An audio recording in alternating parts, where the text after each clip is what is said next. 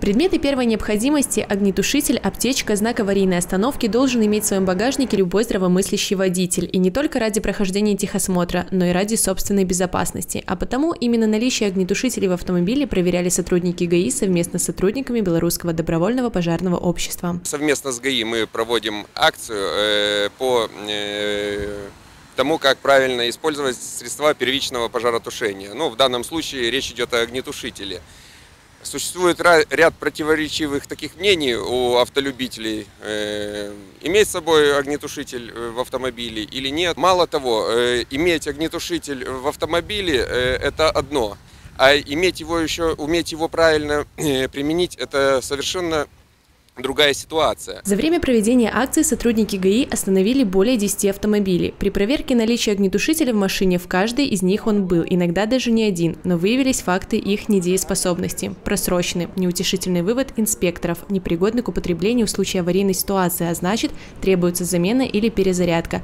Приятный бонус водителям – подаренные новые огнетушители. Согласно пункта 44 приложения к правилам дорожного движения, э, к перечню неисправностей транспортного средства э, относится отсутствие огнетушителя, медицинской аптечки и знак аварийной остановки.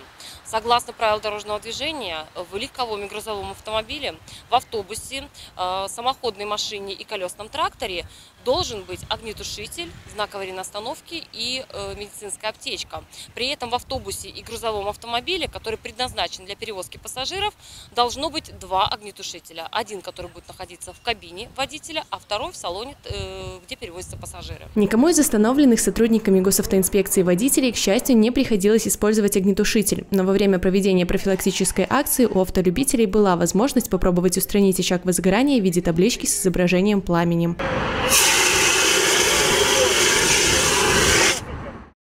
Мере, э, ну, не приходилось пользоваться никогда, но показали, попробовали. Ну и приятно, что заботитесь о нас, водителях.